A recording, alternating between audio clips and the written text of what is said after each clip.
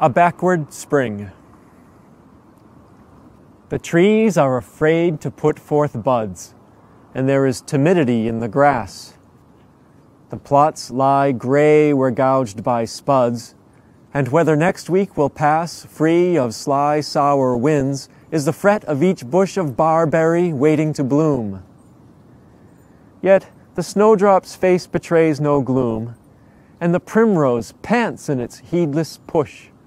Though the myrtle asks if it's worth the fight this year with frost and rime, to venture one more time on delicate leaves and buttons of white from the selfsame bough as at last year's prime, and never to ruminate on or remember what happened to it in mid-December.